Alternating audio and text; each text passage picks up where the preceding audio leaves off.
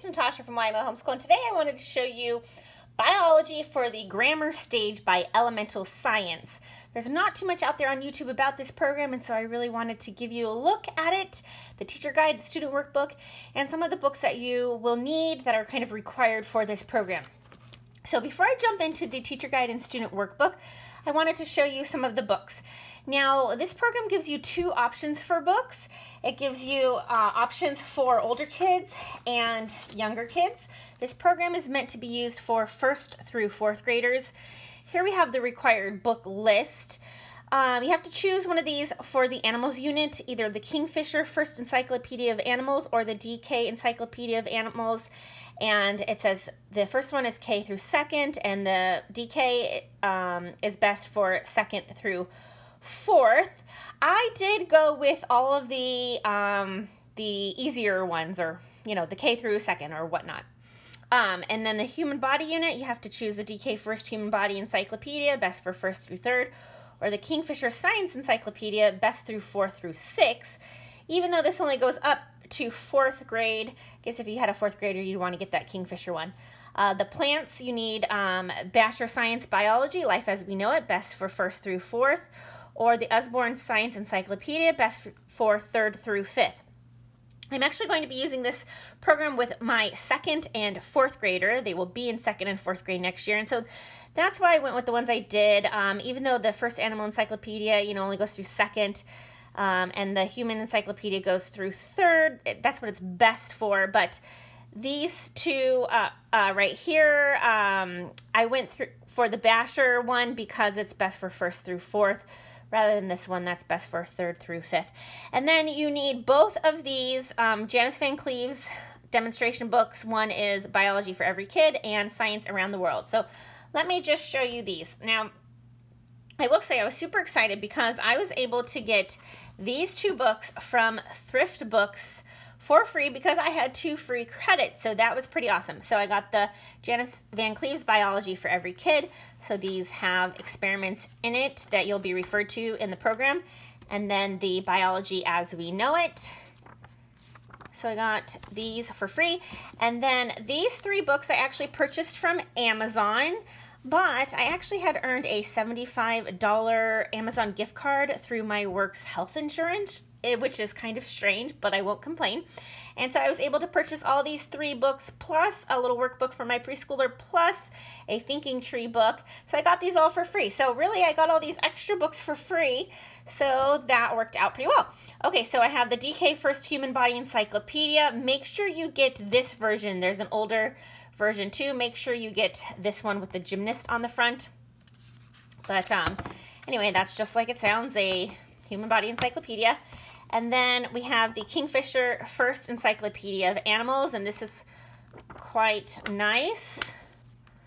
And then we have the Janice VanCleave Sci uh, Science Around the World, Activities on Biomes from Pole to Pole.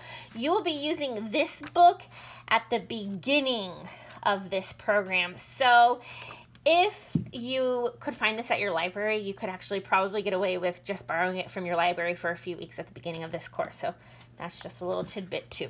Okay, so those are the books you need for this program for the younger grades. And now let's take a look at the teacher guide. So biology for the grammar stage is a classical curriculum program, whatever you want to call it. Um, and it's well-trained mind, top recommended. And we have the contents here. So you're going to be doing 20 weeks on animals and then you'll be doing um, 10 weeks on the human body and then six weeks on plants for a total of 36 uh, weeks. So a regular, you know, regular school year. And this talks about scientific demonstrations, and I just wanted to read this part to you. It says, These demonstrations are designed to give them a beginner's look at the scientific method and how scientific tests work. It is not necessary to ask them to predict the outcome of the demonstration as they have no knowledge base to determine what the answer should be. So they kind of make a little differenti differentiation here between science demonstrations and science experiments. Um, these really, the demonstrations are really kind of parent-led, but of course you can let your kids participate as much as they are able. And then we have um, notebooking, there's all kinds of things you can do in here. So let me kind of break it down. So we have science-oriented books. So um, not only do we have those books that are required, but there's also additional books listed each week that you can check out from your library if you want to do even more. And then um, we have notebooking, which is included in the student workbook, and I'll show you that. And I wanted to point this out that I suggest that you read over these pages monthly so that the students get a review of what they have been learning. And then there's going to be multi-week projects and activities in every unit. There's going to be memorization that I'll show you also, which I love that part. There's possible schedules, there's quizzes, and then there's coordinating products, which is biology for the grammar stage lap booking templates. I do have those. I don't know if we're going to lap book. Um, as of now, we haven't really been lap book people, but I have them in case we decide to use them. And then I and then I also have the biology for the grammar stage coloring pages and I figured that I will probably primarily use those for my three-year-old because she likes to be included in everything we do. And so that'll give her something to color in while the girls are working on their workbooks. Okay, so there's also a uh, blog and there's um, different articles and the basics of notebooking. So there's all kinds of articles on the elementalscience.com slash blog and you can go there. And then there's additional resource resources on that blog as well with quick links to the activities. And then we have the required books book list that I just went over but then there's the additional books listed by week. So if you're trying to prep ahead and you don't want to have to flip through to the week you can go right here to the beginning and you can see exactly what books that are suggested. These are all optional. None of these books are required at all to complete the program, just those ones that I showed you at the very beginning. Um, I just kind of went through and, and marked the ones I already own, so I do own some of them already. And then we have a supplies needed by week. You can also buy a supply kit from Elemental Science, but um, you can also just kind of look ahead and see what supplies you need each week. So then we get into the animals unit. And at the beginning of the unit, you'll see that we have um, a breakdown of the weeks, the books that you will need for this unit, and then the animal poems to memorize. So you'll just be working on this memorization throughout this whole unit, so throughout the 20 weeks. And then we have the supplies needed for each unit, which is kind of redundant from the beginning, but again, it just breaks it down. So if you're going here, animals unit, you can see, okay, this is what I'm doing. These are, this is what I'm memorizing. This is what I need, and that sort of thing.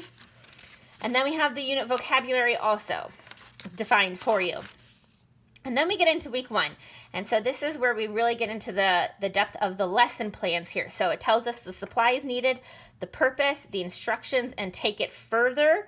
So there's always more that you can do with this program has the reading uh, assignments. It has an optional additional topic to explore this week, which is communication. And this week we have discussion questions, the optional additional books the, that are the same in that list I showed you up front. And then the writing assignments, the narration page, the optional lap book, the vocabulary. Again, that was also right there at the beginning. And then we have our multi-week projects and activities. So in this unit, they're going to be doing an animal diet chart throughout the whole 20 weeks. And then there's projects for this week, coloring pages, um, animal diet, have the students make the food mobile shown on page 12 of the Kingfisher First Encyclopedia of Animals. And so if we go to page 12, then we can see that right there. So that is just something extra that you can do. Um, and then we have a weekly quiz and the answers to that quiz. And then we have possible schedules for week one. So they give you a two-day schedule and a five-day schedule. However, you can really break this up however you want. Um, but it, it has little check boxes. I love that. Very simple and easy to follow. So let's just go over the two-day schedule. If you do day one, you'll read about the desert, grasslands, and rainforest. And when it says read about it, what that means is you need to go back over here to um, the reading assignments. And so it says read about the deserts, grasslands, and rainforest. And so you're going to need these two books, the Kingfisher Encyclopedia of Animals and the DK Encyclopedia of Animals. And it tells you the pages for deserts, grasslands, and rainforest. And um, and uh, desert and grassland and rainforest. And also gives you a note you will need to read about the deserts, grasslands, and rainforest habitats from one of the additional suggested books or from the Janice VanCleave Science Around the World. So when it says read about, that's what you need to go back to is this reading assignment page. So that can confuse people, and so I wanted to point that out. Um, complete the narration page for this week. That's in their student workbook. Work on the habitat diorama project. Uh, read about food. Add information to the animal diet chart. Define herbivore, carnivore, and omnivore. And then um, take the animal quiz. And so, of course, we have our vocabulary defined here. So if you don't know, there it is for you. Um, and let's see. And then um, this is the five day schedule. So it just essentially breaks it down even farther. So same activities, just breaking it down. So not as much to do each day. And so each week looks just like that, where you've got the um, supplies, the purpose, instructions, taking it further, reading assignments, discussion questions, notebooking, all of that. Okay, and then we've got the multi-week projects and activities, the coloring sheets, and then here we have the Planet Earth DVD series. This says watch the BBC Planet Earth series with the students. Um, so you, you know, if maybe your library has that, and of course the quiz, the two-day and the five-day schedule. Um, something I wanted to point out is there are different opportunities for use for you to use a microscope. You don't have to have a microscope during this, but um, it would be quite fun to have a microscope and which we do. We got it from Goodwill, so I suggest checking out your local thrift stores. Um, we got it very cheaply, and we just needed to purchase a new light for it, which was really cheap on Amazon. So that is um, a great thing to be thinking about. But if there's, uh, tells you when to start um, memorizing things here, so you don't memorize anything that first week. And it's very good here. And and it has a link and includes it right in the book for you. Okay, so those are laid out the same way every week. And then we have the appendix. So we have an animal diet chart placement guide. So that way, if you're not sure, well, what is a chameleon? Is it a carnivore, an omnivore, herbivore? Well, it, you can look right here and it will tell you. Um, or if you're not sure which habitat the animal goes in, well, here you go. You can um, look right here and you can know, okay, an alligator should go in the rainforest because they'll be making their habitat posters as that unit project. So, and then we have these habitat backgrounds to print out and make a little diorama with. Everything, all the directions and everything are all in here in here. Then we have an animal observation sheet.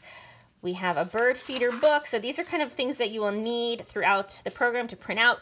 Butterfly life cycle cards, microscope worksheet, body organizing cards, joints, blah, blah, blah. Okay, so nature walk sheet, types of roots. So these are pages that I've just included in this book, but these are something that we might actually print out multiples of if we do multiple nature walks or we do, um, you know, multiple microscope projects, that sort of thing. But I just um, printed out one copy so you guys could see this. And then we have the glossary. And then we have general templates where we have a project record sheet, and then we have the two-day a week schedule and the five-day a week schedule. So if you want to change it up a, a, bit, you can use these templates. You can print them out, write, out, write on them, and use them yourself. Then we have the student workbook. And again, we have the animals unit and the human body unit and the plants unit.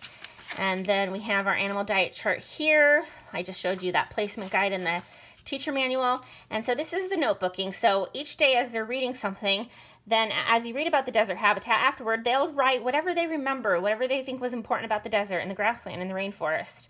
Um, that week, they'll do their lab report for their habitat diorama. They can draw a picture or you can take a picture and glue it in and what they learned. So really this lab report is very, very simple. It's not like a real scientific lab report that you would see in the upper grades. Um, but then we get we get into the next week and we can see that it gets a little more lab report-ish, if you know what I mean. Our tools, our method, our outcome, our insight. But as you can see, each week we have the notebooking for the different animals and the lab report. So that's really how this looks. There's the life cycle of a frog, that sort of thing. And it's kind of nice when there's some sort of chart or something needed that it is already kind of put there for you so you don't have to make it. I do like that. Uh, my picture family tree. A plant growth chart. So this is something that will be taking the course of the whole six weeks of your plant unit. So you'll be using that throughout. And then we have the notebooking and the lab report pages for the plants. And then at the back, we have the glossary. This is where each week, when it tells them to define something, they'll come to the back of their book, find it in their book, and then write the definition. So at the end, they'll have a nice little um, biology glossary all done for, you know, that they'd made themselves. And then we have the memory work. Again, is right in their workbook, so the kids can turn to their workbooks and you can practice your characteristics of mammals poem or whatnot. And then we have the human body poem, the plants unit poems, and then we have project pictures. So again, this is something that if you're actually printing this out for yourself, you don't really even need to print this out for the workbook because they'll be using these for projects and so they won't actually be staying in here. Um, and for example, like I might print this on cardstock instead, but for the sake of showing you guys, I have it in here. Um, you know, I don't mind wasting three pages of paper. And then we have the quizzes. Now you might want to keep the quizzes out of the student book. Again, this is just the printable book, but you can buy these already bound and made. Um, but if you have more than one child, it might be more cost effective to print them out yourself if you have a good printer as I do. Um, Okay, and so then it gives the quizzes here. As you can see, they're very simple. They're like true and false, circle the correct answer, and then it always says, what is the most interesting thing you learned this week? So these quizzes are very, very basic. So, you know, did they get the main points? You know, circle all the characteristics of a fish. All right, and that's it. So that is what that looks like, but this teacher guide goes so in depth with all the different things you can do with the the taking it further and the video links and the multi-week projects. And so you could really spend a lot of time on this or you could just spend a little bit of time on this. And um, it really just depends on what you want to do. Oh here's an example of an optional microscope work. Uh, purchase a prepared slide of brain cells to look at under your microscope. Complete a microscope worksheet found on page 192 of the appendix. If you do not own a microscope, you can view brain cells at the following website. So, um, really, this can get super interesting, super in depth, or just very basic if you just want to use the books and, and do the scientific demonstrations.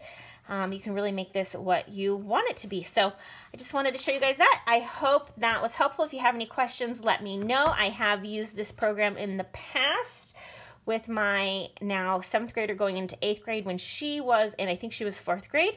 And we did it with our um, homeschool co-op. So I am, you know, a bit familiar, although this is an updated edition. And I must say, I do like the updated edition better. So if you have any questions, please let me know and I'll be happy to help you. Thanks for watching.